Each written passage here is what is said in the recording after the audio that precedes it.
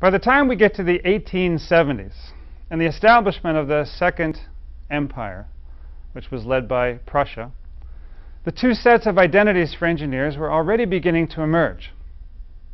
On the one side, the claim to be doing professional engineering work in the German context was in part a direct extension of the practice in the trades, which, which had been built on apprenticeship training and, and the celebration of practical knowledge. But on the other side, the emergence of engineering research at the higher technical institutes was in part a direct extension of the French emphasis on theory, but, very importantly here, in a different sort of way. Scientific technology, the German concept of scientific technology, involved an attempt to find abstract means of describing practical activities and practical knowledge. It was an idealization of practice rather than an attempt to derive practice from fundamental principles. Let's listen again. Let's listen to Manegold again. I'm quoting.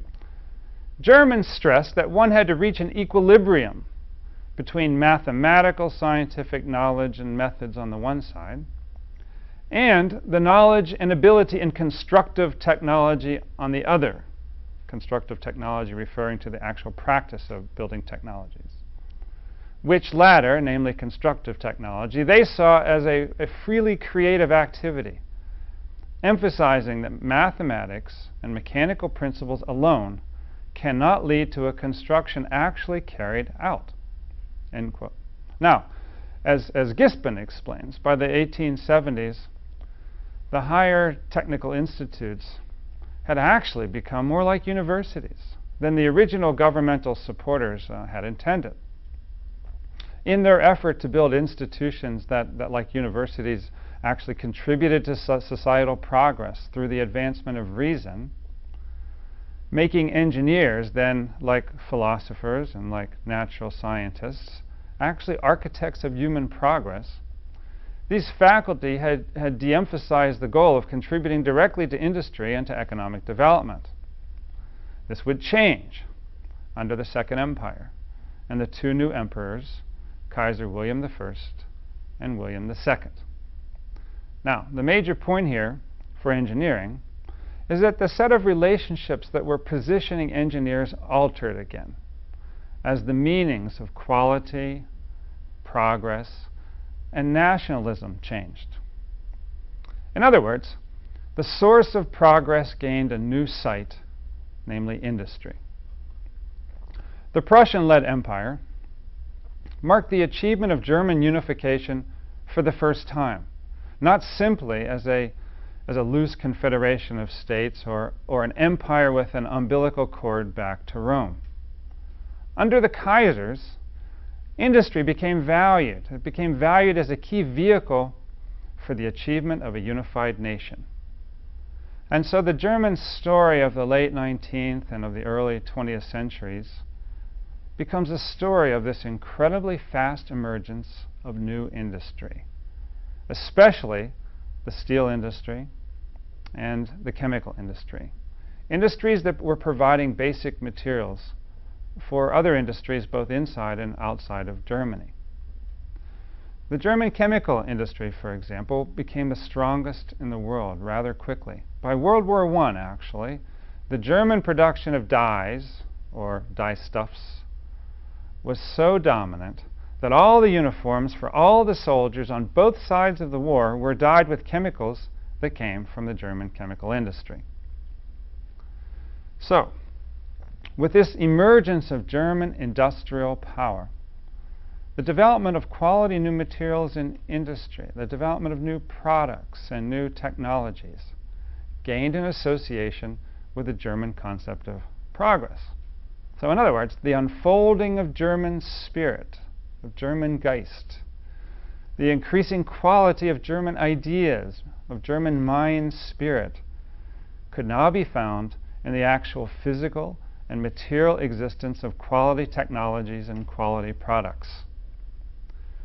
This, this, emphasis, importantly, contrasted sharply with the developing emphasis in the United States, which had already, uh, which, in which was already emerging a distinctive style that was dedicated to the production of low-cost goods for mass use.